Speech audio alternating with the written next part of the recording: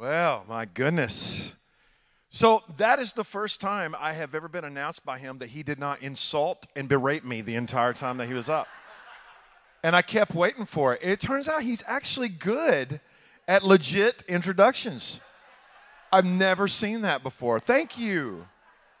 Thank you very much. You must be on your medicine again. That's amazing.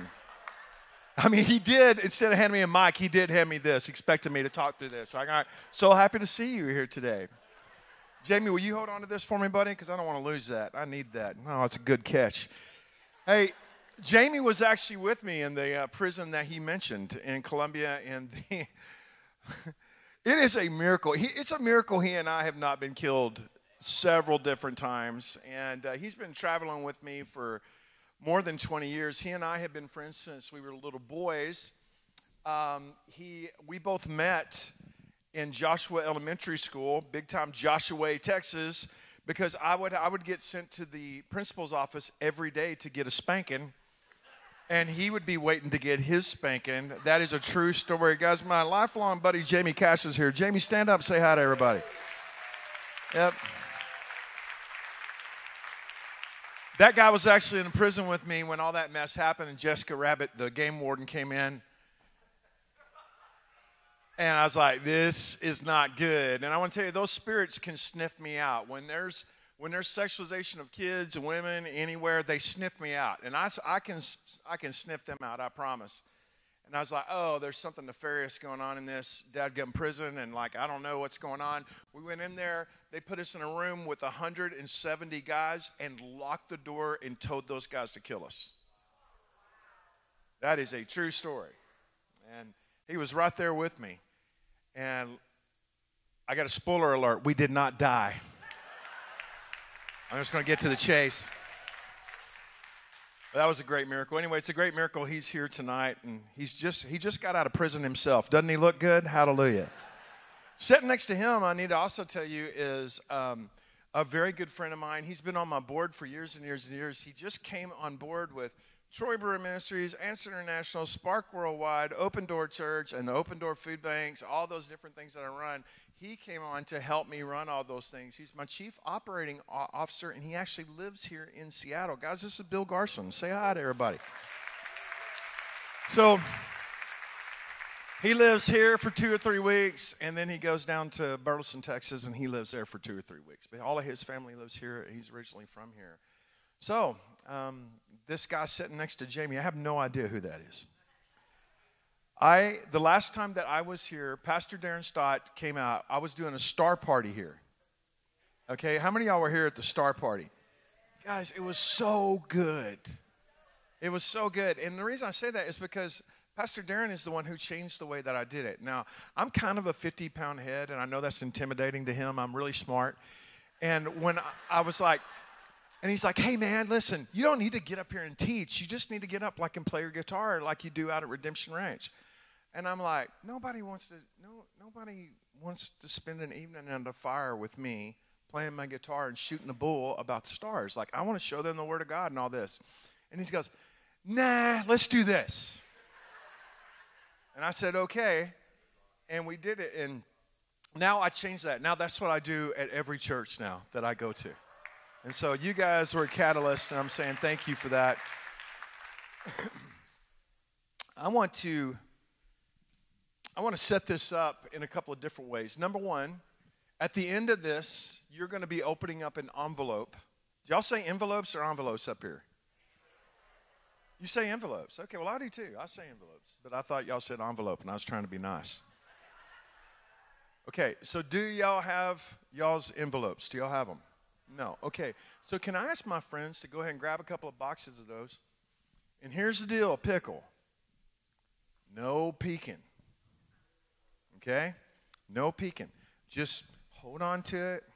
Don't lose your mind and open it up. Just hold on to it. And at the end of this, we're going to have a prophetic moment because I have no idea what prophetic word is in that. And so there are hundreds and hundreds and hundreds of possibilities within it. And my elders put all these things together, and then they print it up in a really nice way so that you can put that in your Bible or your refrigerator, depending upon which one you go to the most. Like that, man? Kidneys, baby. It's right here, kidneys. And uh, you can use that for your own encouragement for the rest of the year and go, no, this is a word that God gave me. This is my word. Okay? So, one of Pastor Darren's world famous deacons or deaconettes will be handing those out to you. And you just hold on to those things. And then at the end of this, we'll all open them up together. Amen. It's good to see so many friends in here today and uh, bless you and call you blessed. Are you guys ready to get off into the word? Amen. Uh, since the last time that I was here with y'all, I was uh, I have been in a whole bunch of different nations. I'm going to be in Uganda next week, and then I'll be I'll be there for two weeks, and then I'll be in South Africa the week after that. And since that time, uh, we have just been all over. I have been so busy. I can't even tell you. I've just been gone. Honestly, it is just a blur to me now. It's like I've lived 100 lifetimes since the last time I saw y'all. And it really wasn't that long ago, was it? I mean, it really wasn't. I'm like, wow. Um, one of the things that happened since the last time that I was with you was that we went to Mexico. We were there for nine days. We rescued 51 boys and girls out of sexual trafficking in nine days. It was amazing. I got to spend a lot of time with the president of Mexico and do a whole bunch of dignitary things. I spoke to the United Nations, and that's always fun for a guy like me to get to speak to those guys. And they think I'm going to be super diplomatic, and I'm not. I'm always surprised that they bring me back. I get up there and I say, Listen, man, if you are a part of sexual trafficking, Jesus is coming to get you. And I tell them that.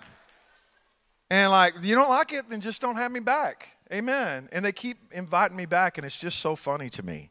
Um, I'm going to get to be back, and I just got invited back to speak to Congress in the month of July, Congress of the United States. Hallelujah.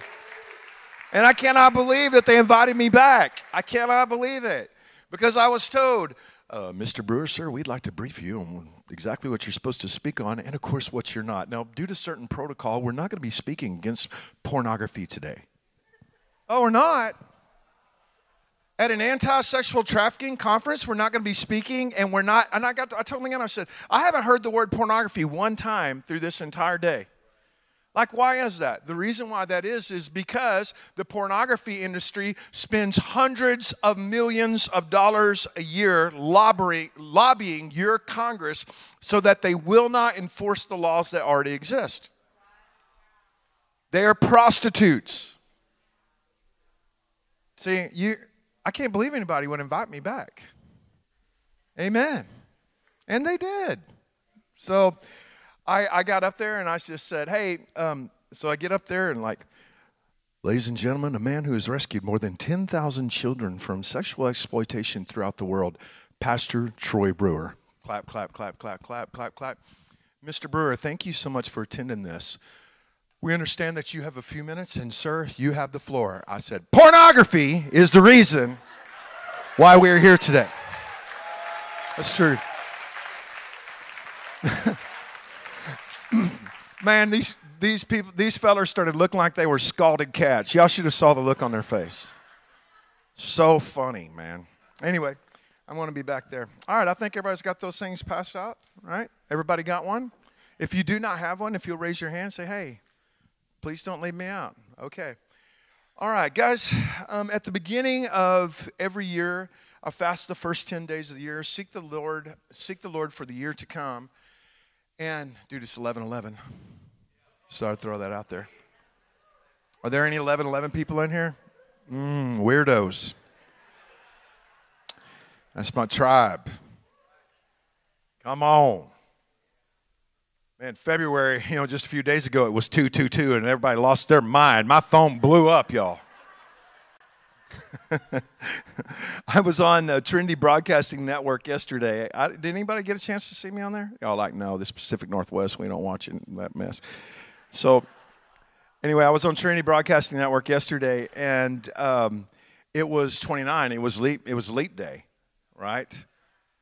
And plus, 29 is the number for overcoming mountains. I think some of you guys know that, right? Like, how do you know that? Because there's 29 mountains that are listed in the Word of God that are named. There's 29 of those. And like, how do you know? Because I counted them. Amen. And it's also Emeritus Big Book of Bible Lists. It's got 29 mountains that are listed there. But if you ever get a chance to go to Nepal and help me rescue some boys and girls there, one of the things I'll do is I'll end up taking you to Mount Everest because anytime I go to Nepal, I want to head out to Mount Everest. I mean, why would you not do that if you can if you have the chance to do that? Not that I climb it. I mean, I have an asthma attack just looking at it.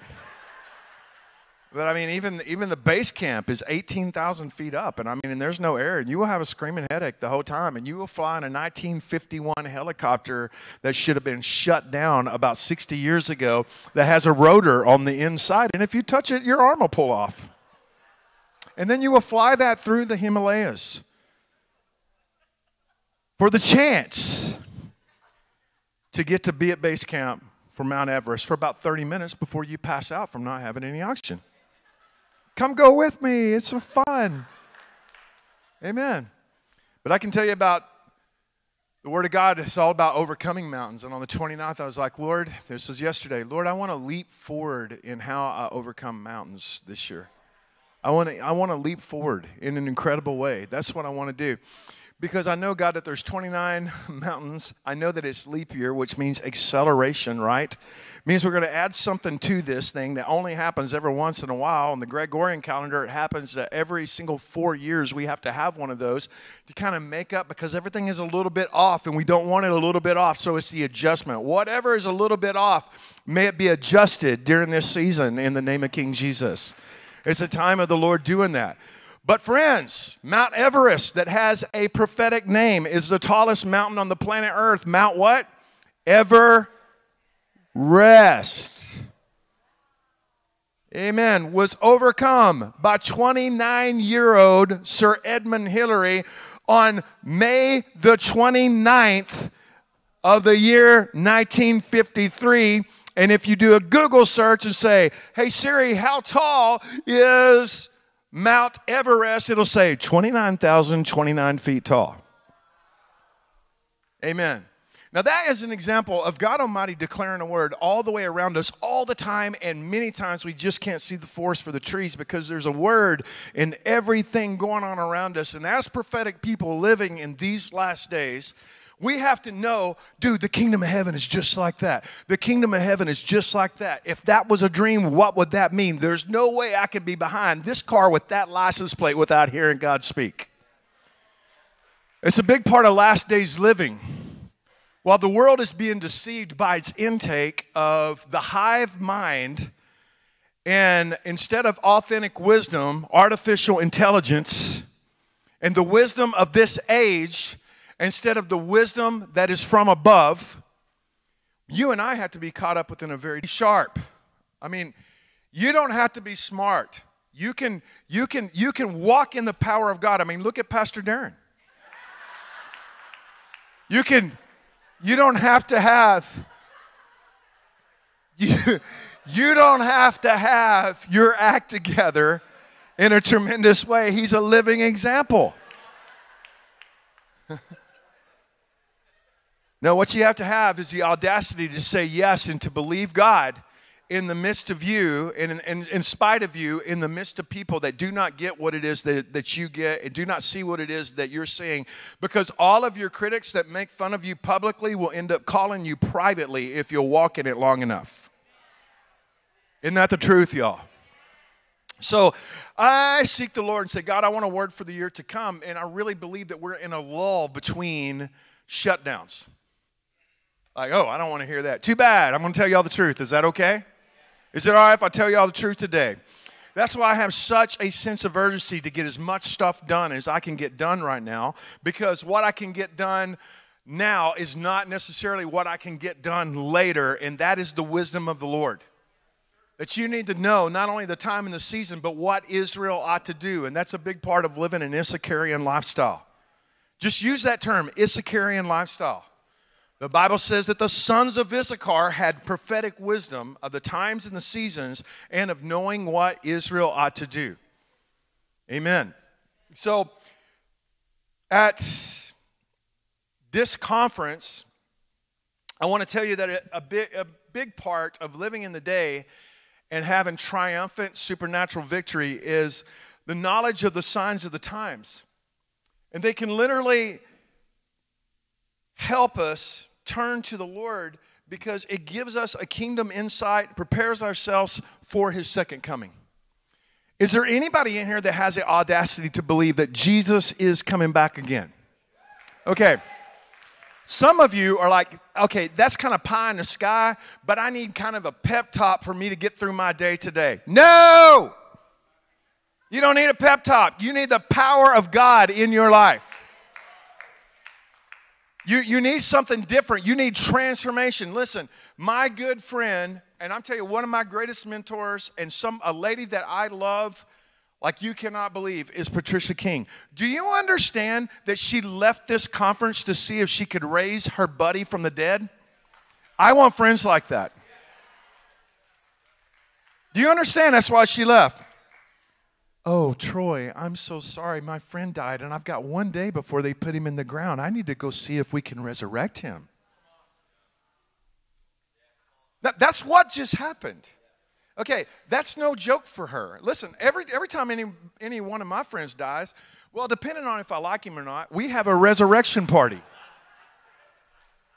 We have a resurrection party. And literally, the body will be in the room, and we'll all get together before we haul him off to the morgue or whatever's going to happen and say, let's all seek the Lord. And I want to tell you, it's a party. Like, we've got the rest of the week to mourn, but let's just see if the Lord does something. Let's just see. And we pray and we seek the Lord and we talk about His life and we talk about how much we loved Him and how much we love each other. And we say, man, the power of God is here. Get up in Jesus' name. Everybody's like, you're nuts. Mmm, that ain't crazy. I could tell you what crazy is. And that is not crazy. Believing in resurrection power should not be crazy for a believer who believes in a resurrected Lord Jesus Christ. You're the one that's crazy if you say you're a Christian and you don't believe in resurrection. What? So, the year 2024, guys, we got to know the signs of the times. We got to know the Word of God, and it's all about being watchful. 1 Peter 4 7 says, But the end of all things is at hand. Therefore, be serious, be watchful in your prayers. Friends, this command to be watchful is in the Bible 24 times, and this is the year 2024. It's a year of God saying, You better look up. You better pay attention. You better sober up. You better get your act together. You better be consecrated and dedicated in your life to looking for the kingdom, the kingdom, the kingdom, the kingdom, the kingdom. Because the kingdom is always coming. Amen? But what does the Word of God say that men's hearts fell there they, men's hearts fell them for fear in the last days. Do you get remember what it says? When they see the things coming up on the earth. So there's two things coming in your life either terrible things or the kingdom. And you're going to see one or the other, and the choice is yours. Amen. If you believe that God highlights different words and themes at different times, then you understand the importance of knowing the signs of the times. So Jesus has pointed out some of the basic requirements to be able to sensibly interpret things. And that's why we need to know the Word of God. That's why we need to be challenged by the Word of God. And he even points out, dude, well, how is it that you can know the weather and you can tell what's going to happen weather wise, but you can't tell what's going to happen by what's going on in the Spirit? He's like, what is that all about? And then he actually says this. He says these words. He says, A wicked and evil generation requires a sign. And now, are you ready? Are you ready? That's a horrible translation in the English language.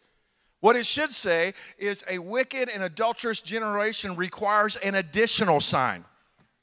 Because he's telling them, dude, why can't you? He's getting onto them that they don't know the signs of the times, right? That's the context. And then they're like, show me another, show me another, show me another, show me another. And he says, no, a wicked and adulterous uh, generation needs another. I've given you enough. You should be already to know the signs of the times. That's what he's saying, correct? So it's like a wicked, a wicked and adulterous generation tells King Jesus, I demand more hoops for you to jump through. Uh, come on, I'm not really impressed with that. Come on, come on. We could explain that away. I need you to do something else. See, that is the spirit of Herod. Show me a miracle. Bring me the miracle boy, and I want you to jump through my hopes. And God had nothing to say to him. Jesus had nothing to say to him. And then Herod went from applauding him to torturing him. You know that? So that's what he's talking about. He's like, dude, if you didn't see what I've already done, you ain't going to see this, and I'm not here to entertain you. Mm. Do you know what a blind entertainer is? It ain't King Jesus, it's Samson. You guys know what they did to him once he fell? He became a blind entertainer. I want to tell you, there's been too many blind entertainers in the body of King Jesus because they couldn't get their head out of the lap of Delilah. And all they're good at is entertaining people. And they do not know what God Almighty is doing. They do not know what God Almighty is saying, but man, they, they're slick and they know how to talk. I want to quit being impressed with blind entertainers. Amen.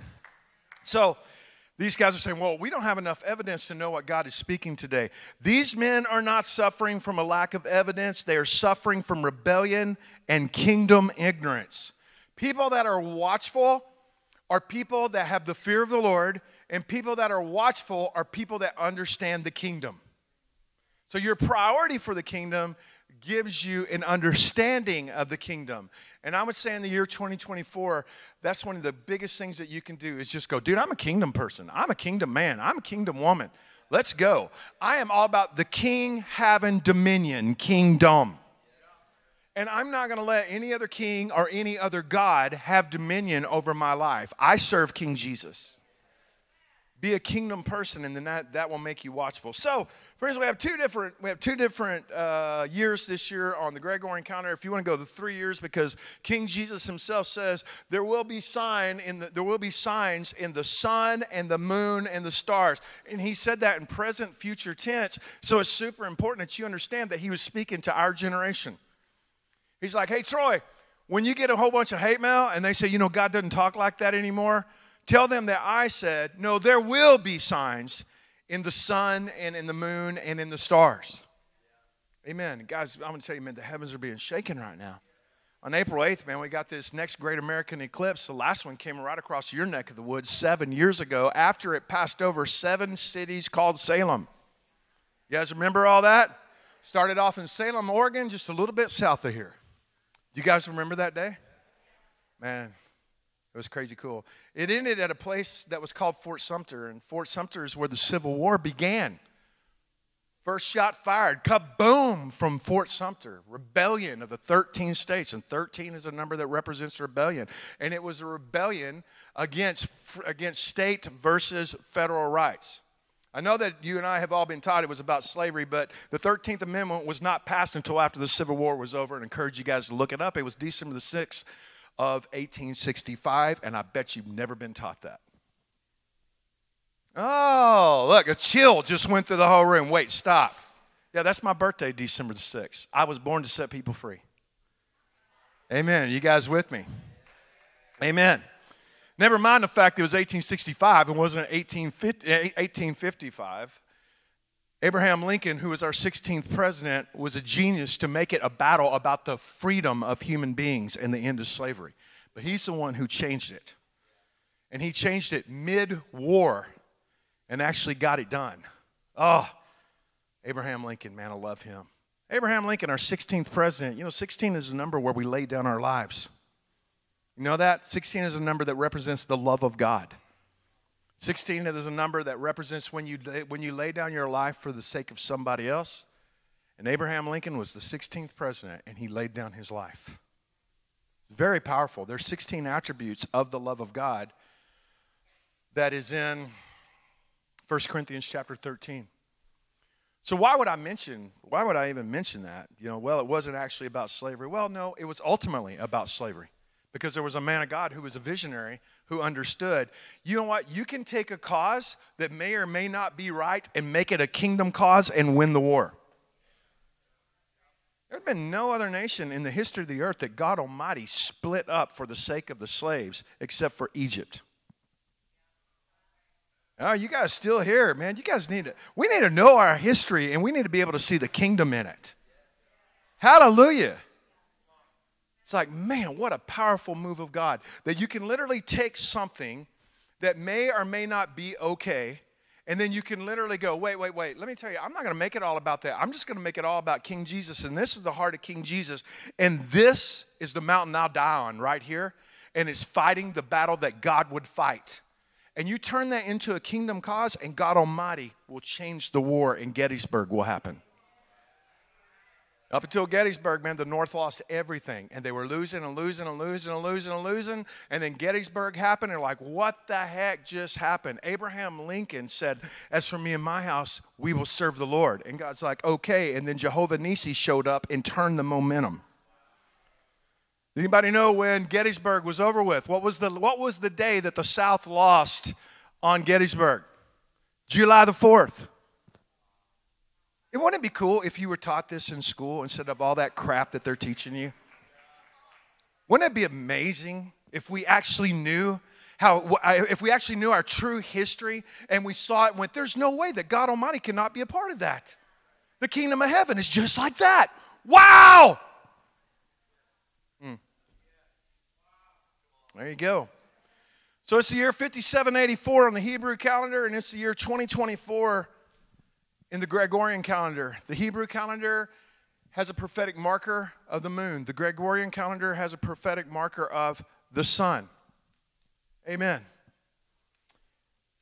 We could talk about the astro calendar, which we're about to enter into the age of Aquarius. I don't want to go off on that, but it's just as legit of a calendar as anything else is because God wants, the, God wants things to be marked, to be measured, to be weighed, to be numbered, and then finally to be named all to his glory. Now, you can say, well, these calendars are flawed. Yeah, they are flawed. They sure are. Um, because they're the measure that men have put together. But know this, friends, you need to know this. The Lord Jesus Christ will step into your measurement because you don't know any better. If, if we knew how to do it right, it would be perfect, but it's not because men are involved in it. Like, well, I don't think, I think it's got to be perfect. No, it doesn't. Do you know what the standard of measurement is all the way up until the time of the Greeks and the Romans? It doesn't matter, it's the Babylonians, it's the Medes, it's the Persians, it's the Greeks, it's the Romans, or whatever it is, right? It doesn't matter. Like, what was the measure? A cubit. And what was a cubit? Well, it's from here to there. Do you see that big galoot of a man right over there, that giant beard? Yeah, that's him. Hey, man, stand up. Stand up. Now, the number one, this is what a real man is supposed to look like, by the way. Well, y'all can stop looking at me for a minute. Now, if I could get your attention back to me, okay, I'm sorry. I want to tell you something. That brother's standard and my standard, a couple of inches off. Right? But if I did 144 cubits, and he did 144 cubits, and I built something that was 144 cubits, and he built something that was 144 cubits. If we put them side by side, they would be a little bit off. But the measure would not be off between me and the Lord because I did what he told me to do with the measure I had to measure with. Amen. Come on. So that whole thing of righteousness, it's like, okay, well, your measure might be a little bit different. I mean, some of you, um, you know, like the measure of alcohol. Should you ever, ever, ever be allowed to drink, be able to sip an alcohol? Well, that depends from church to church and from people to people and actually from person to person. There are some people have no business whatsoever even taking a sip of alcohol. There are other people that they can, and I truly believe that. But here's the deal your cubit belongs to the Lord and you had better serve the Lord with your measurement, whatever it is. Man, I just had my 35th wedding anniversary last week. Hallelujah. Been married 35 years. Come on, come on. Hallelujah. Woo! All right. So I had this, and I don't know if y'all have seen my wife, but she is drop dead gorgeous. I mean, she's it's, it's hilarious to me. I'm so glad I got her while she was young. Hallelujah. because she is something. And we're super happy together and we love each other. And I want to tell you, my measure and my cubit is to make my marriage a mission. Okay? My marriage is supposed to be a mission. And I am supposed to do everything that I do. I'm not supposed to live life considering my life without my wife. Now that I said that, some of y'all got no business ever being married again. And that is your measure. I didn't get one single amen out of that. You hear me, Jamie? Jamie, can I talk to you, dude? You've been through what, nine divorces now? Okay. So let's go through this. Some of us should never get married again because your picker is broke. And until you know how to pick them, you have no business whatsoever, right? Okay, that's a different measure from person to person to person to person to person, and we do not compare those things. How am I doing? Get up here and teach the Word of God. Having a new ear for a new year is a big part of this thing. I call this the year of the Malchus miracle. I call this the year of the Malchus miracle. Now, y'all know who Malchus was? Malchus is the guy that Jesus, that Peter cut his ear off and Jesus planted it back on his head. Now, there's a couple of reasons why that happened. Number one, because, you know, it's not cool to have your ear cut off, and Jesus just likes to fix things. Another reason why, uh, another reason why that happened was simply because if Jesus had not put his ear back on his head, then the courts of the high priest could have accused Peter of the death penalty.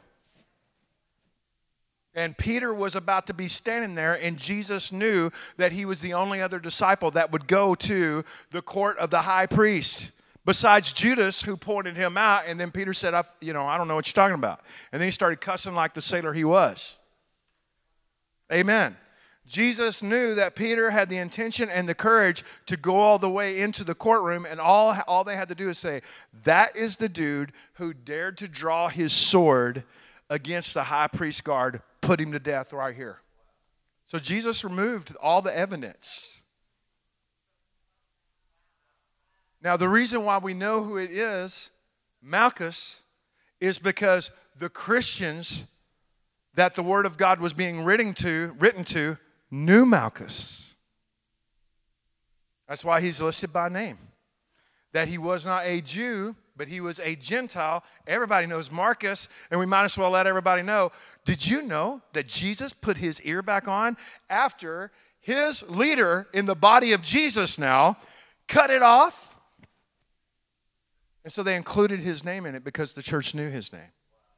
It's good stuff. This is the year of all that happening. This is a year of reconciliation. This is a year of redemption. And this is the year of God Almighty putting a new ear on you and going, here, that's better now. And, and a God given ability to be able to tune in and hear God speak. I want to hear God speaking in, in a whole new way. If the Lord is living in a whole new way, and if He's leading in a whole new way, and if He's speaking in a whole new way, friends, I want to have an ear to hear. Amen. I want to say that when we go to the 84th verse of the of or if we look at the year 5784, and if I'm looking on the Hebrew year, I can tell you that the 84th verse in the Old Testament is Genesis 4 4, and that 4 4 means double door, right? Four in the Hebrew means an open door. You guys know that, right? This is a double open door year. And that's good news, and that's good branding and marketing for a guy who runs Open Door Church in Burleson, Texas. Amen. I like that. But it, Genesis 4 4 tells us that God Almighty was pleased with the offering that Abel brought. How do you know that God Almighty is pleased with your sacrifice? Because fire falls on it. Fire, by the way, please say that one syllable if you would. Fire. There you go. That's a good job. Y'all are awesome. I, I know everybody makes fun of me when I say fire. Everybody says fun of me when I say oil. Oh. I can't tell you how that pegs my cringe meter. Say oil. It's just like, mm. I don't know why. But to me, that's always been a one syllable word. And things like, you know, we don't do in Texas is like we don't pronounce our L's like, I told you so. T O A D. It's code outside. man, they broke you, or man, they, they, man, after they made you, they broke the mode. So we don't pronounce the L's there, which is kind of weird, right? I have no idea why I'm telling all that, except for it's just in my head. So how does so so here's the deal: fire falls upon sacrifice. This is a year, man, that you can expect some things to light up. That God says, you know what? The world's never celebrated you in this place, but I've seen it. I've been there and I've seen it. I know it. I understand it. Wow. You know what? Poof, fire.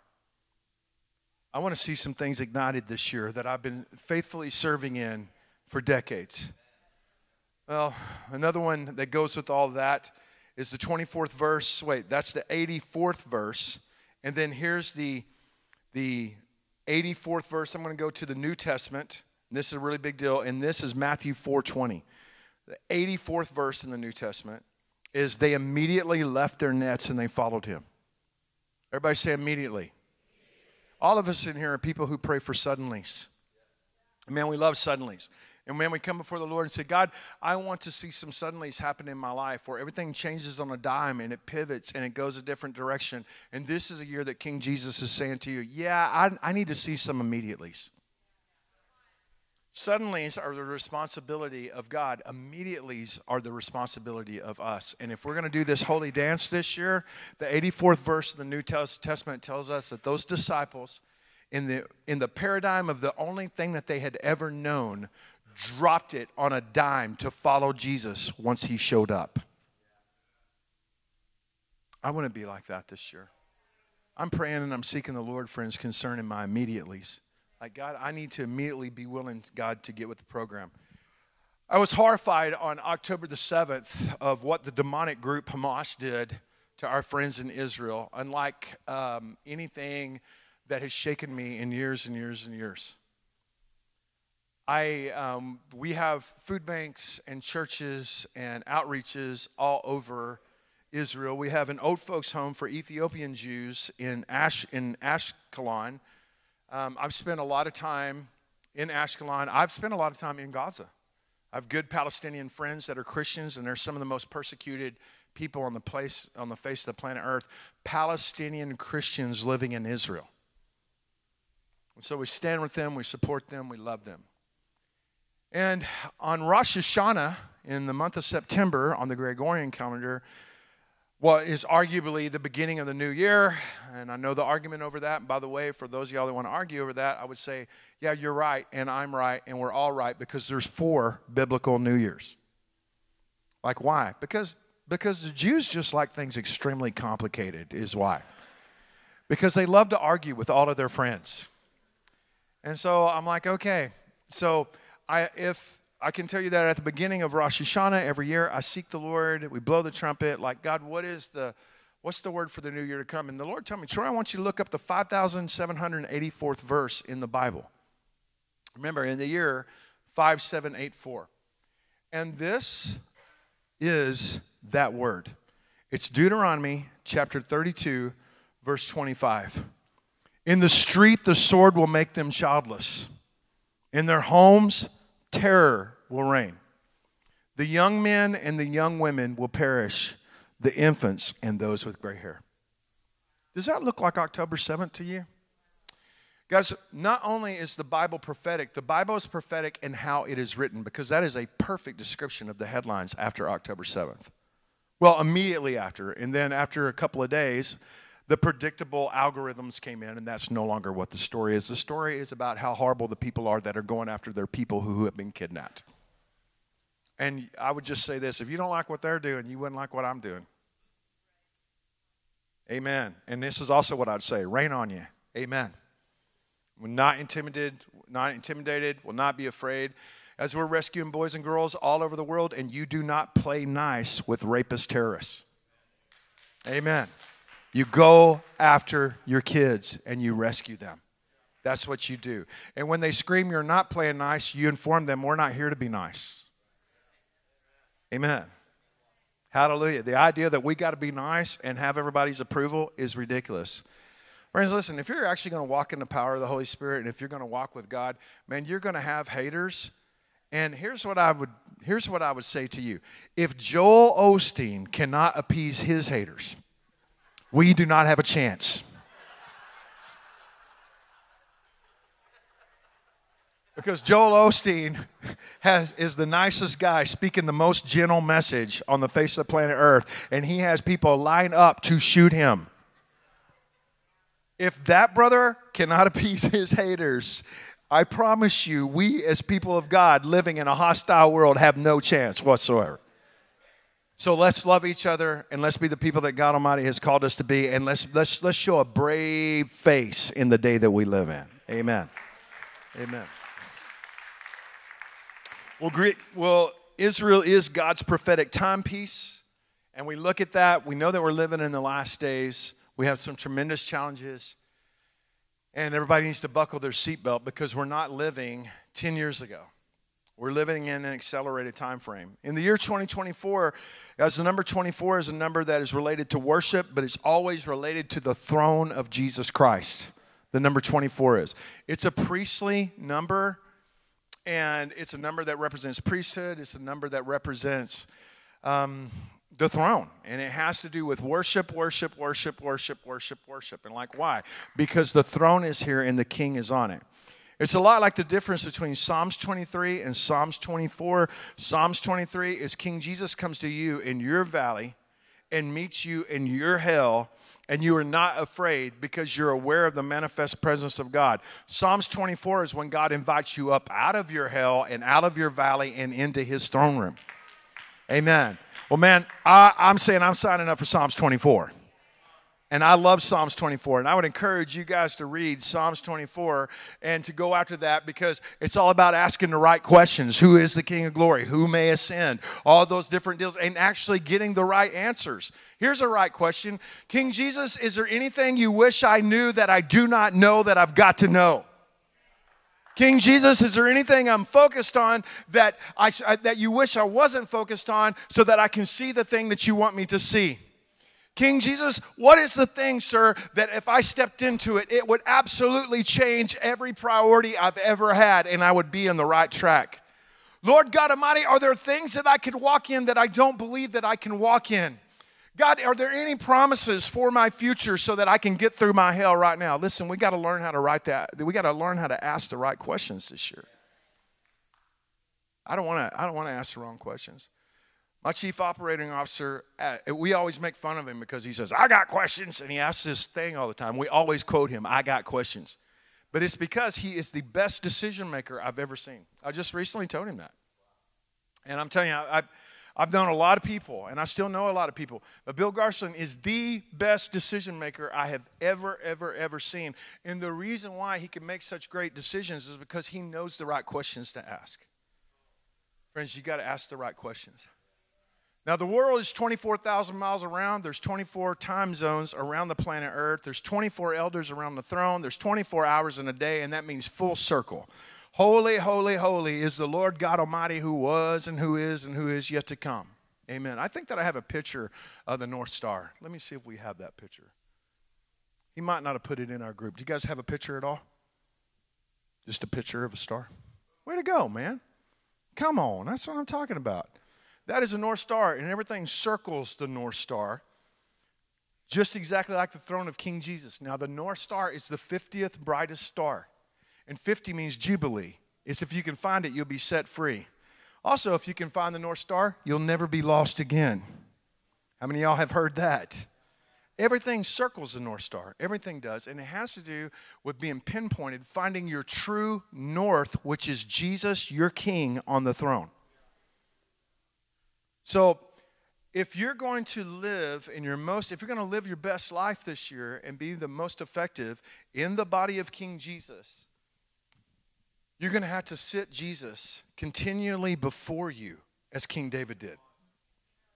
You know, King David, the rock star, King David, the poet, King David, the lover, King David, the king, King David, the prophet, King David, the general, King David, the man of war, King David what a, you know, man, like I, I think these things all the time. Hey, if I could have, if I could have, you know, dinner with a top with my top 10 favorite authors, who would that be? And I start thinking about all my favorite authors.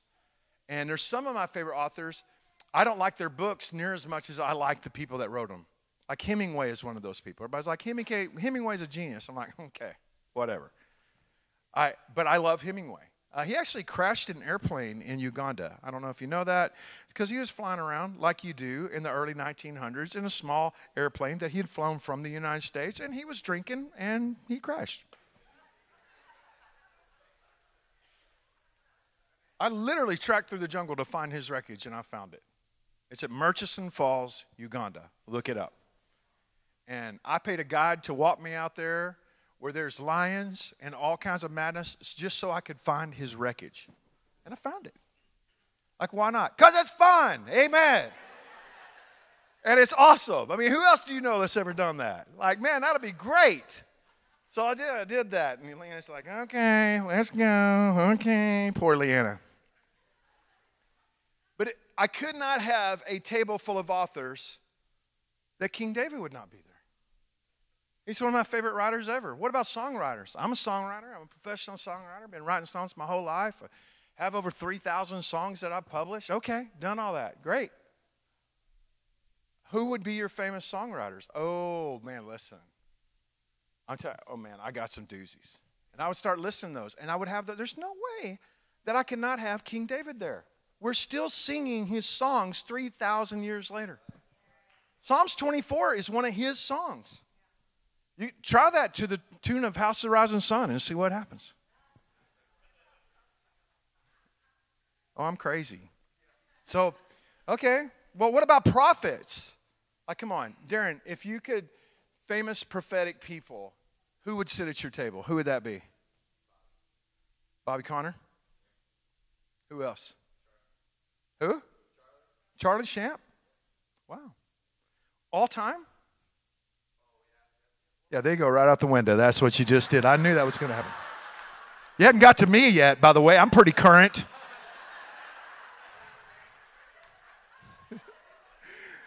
Who? William Branham, right on. John G. Lake, maybe? Yeah, I'll definitely have him. You might invite me? Do you share when you eat? No? Okay, I'm not coming. So, now that I've said all that, how could you not have King David there?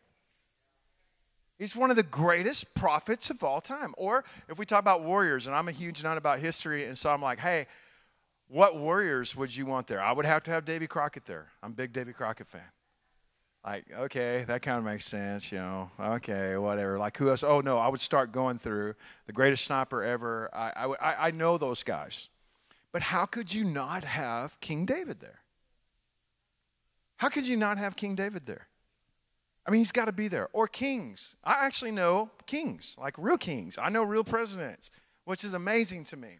But King Oyo of Uganda, of the Toro Kingdom, his whole family is a good friend of mine. And I've worked with them for 30 years. And I'll be there next week, and I'll go to the palace and sing the King Oyo song. King Oyo, King Oyo. You got to sing it like Africans. That's how the girl part's singing. The other part's ooh, ah, ooh, ah. Can, can you help me with that? Do the ooh, ah, ooh, ah, ooh, ah. Oh, King Oyo, King Oyo, you That's how that song goes. Yep. Thank you. I forgot the words. My point, and I close with this, is this. If you were going to put any of those cats together, any of those tables are your favorite people ever, I mean, he would, King David would be there. And if you were going to ask him, what's your secret sauce? What's your secret of success? How in the world did you possibly accomplish this? What in the world? Tell me what it is. He would say this Lord, I have set you continually before me. He would say, my secret sauce is that I set the Lord continually before me. I didn't get everything right. I didn't do everything right. I didn't, you know, I made some colossal mistakes. I want to tell you that. oh, he's a train wreck sometimes. The idea that you can't love people in history because you found out they're flawed has been taught to you by some woke idealist. Throw it out the window because that ain't how it works. King David was beautifully flawed. I'm talking about, man, when he messed up, it was like my grandson learning how to ride a bike messed up. Missing teeth. And got him up, bawling and squalling. That was awesome. Do you know you're missing a tooth? It looks so cool. Like, really, Papa? Do they really look awesome? Do they really look awesome? Or are you the plan? Like, look, you look at it. He's like, dude, that does look awesome. Okay, well, that's how it works in the kingdom. Train wreck. So, but if you ask him, what is your secret sauce? He say, Yeah, I, I set the Lord continually before me. I set him, meaning he was my king in the world that I lived in. I set him continually before me. He was my king in the world that I lived in. And in light of everything that I did and all that I was a part of, I can tell you this right now. I, I never found a world I couldn't live in if Jesus wasn't on the throne in it. So covenant within your heart, and I feel the Lord moving right now. I feel, can y'all feel the Holy Spirit moving right now? Because I can. Jesus, I love you, Lord. Jesus, I praise you, Lord. Thank you, Lord. Thank you, Jesus. I want you to covenant with the Lord right now and say, Lord, I will set you continually before me this year. When I look at history, I want to see you. When I look at my present, I want to see you. When I look at my future, I want to see you so that I can say, Holy, holy, holy is the Lord God Almighty who was and who is and who is yet to come. I want to be able to do that because I'm a kingdom person. I'm not just somebody who lives in Washington, I'm a resident of heaven who's passing through Washington. I am not just a Texan. I'm a resident of heaven that is living in Texas. Texas comes and goes. There's good things about Texas and terrible things about Texas. I'm a kingdom man, and I will set the Lord continually before me. Love you, Jesus. I want you guys to take out your envelopes if you would. Hmm. I want you to hold them up before you open them. Just take them out. There you go. See, y'all are so, some of y'all already opened it. Cheater, cheater, pumpkin eater. Father God, I pray, God, that this would be a word. I pray, God, that you would move. Guys, can I have one, please, too, if somebody has one? I pray, Father God, sir, that this would be a word. I don't want to steal yours, Ladybug. No, it's not. It's not? Okay. You could steal from Jamie. He's good. Thank you, ma'am. I pray, Father, in the name of Jesus, God, that you would speak. And King Jesus, sir, we open up our hearts. And God, we're willing, sir, to have a new ear in this new year some way, God, that we've never heard you before. Can I ask the guys uh, come up here in the band, if you would? And I pray, Father God, sir, for this next five minutes, God, knowing, sir, that when we seek you, we find you, that when we knock, you always open that door. Jesus, I love you, Lord. We knock today. In Jesus' name, amen. Guys, if you would please open this up for me.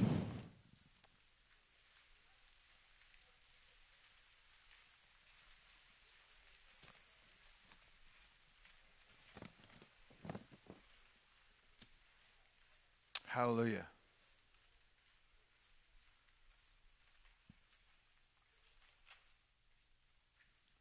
King Jesus.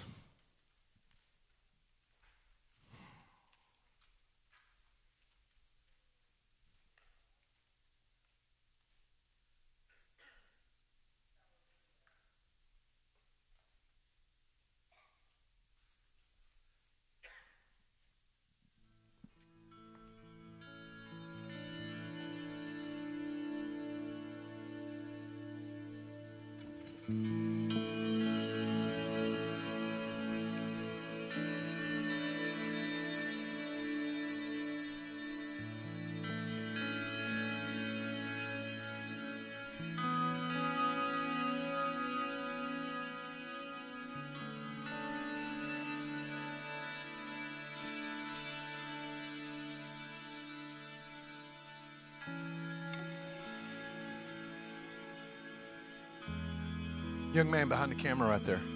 Hey, how are you? I bless you and call you blessed. You know, sometimes God calls us to come away for a long, long, long ways away from things. And He says, okay, that's what it's always been about, but it's going to be different with you. And then when you start going through those things, you find out, no, I have my place, but it doesn't look like what I thought it was going to look. And it's not the way that I thought it was going to be but it's better. You have that all over you. You You have that all over you.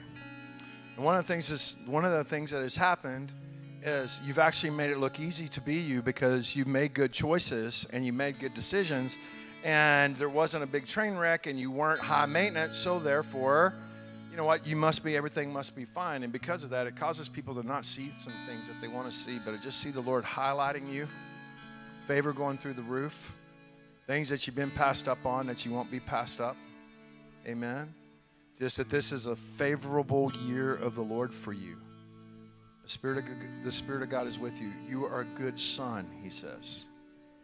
You're a good son. Just declare the Lord's goodness on you in Jesus' name. Amen. Was that a good word? Yeah? Was it, did it actually hit home?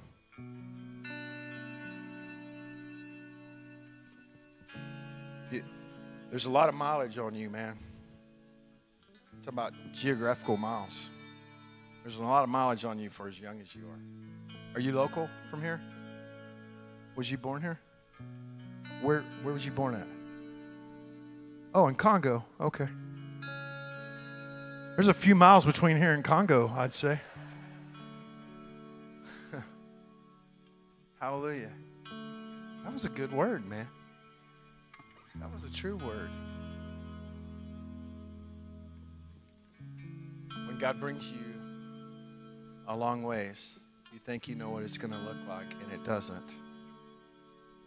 And a big part of that is because you never could imagine what He actually had for you. Thank you for making good choices, man. The Lord sees you, brother. Proud of you. How many of you guys got a word from the Lord just then? You got a word from the Lord? How many of you guys can say, This is my word, and you, you got this word? I have no idea. If you if you got the same word to the person next to you, that's an anomaly because there's hundreds of those words. I I don't know. If there's is there any spouse in here that y'all got the same word? That you guys are spouses? No? Okay. Me and Leanna got the same word at the beginning of the year. I was like, whoa, how about that? Think that this is our word. Maybe there's a big boom in your word right here, but if, if there's not, just hold on to it and let the Lord talk to you about it. Profess the word, declare that this is a word that, that came to me. It came to me from almost 2,000 miles away from here and also to several months back. And it got here today, and this word belongs to you. So, Father, in the name of Jesus, let this word be real and alive to us. God, I love you and praise you and thank you, God. Let it be according to your word in Jesus' name. Amen. Pastor Darren, I'm going to bring you back up here. Guys, thank y'all so much for putting up with me. I love you. Call you bless, bless, bless in Jesus' name.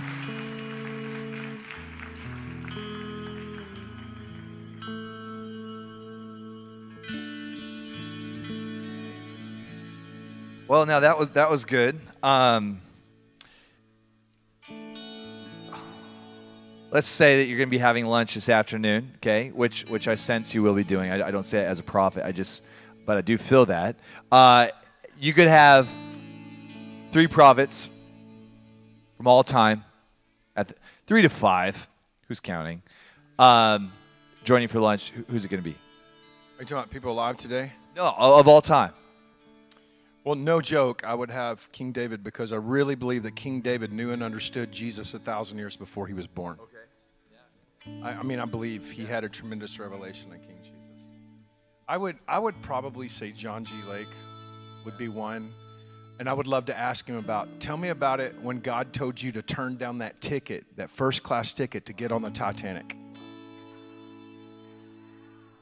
Don't know if you guys know that or not. I've done a huge study on the Titanic. I got a book coming out next year about it. And John G. Lake was given a ticket that cost the man 140 thousand dollars in 1912, and he got it and was walking on and went, "God's telling me not to do this." Jack and Rose were on the Titanic.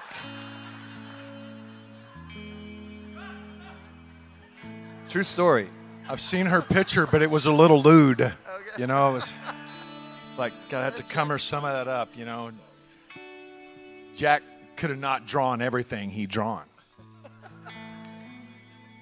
We were we did a panel once with Patricia King, and we were having a conversation like this. Do you remember that?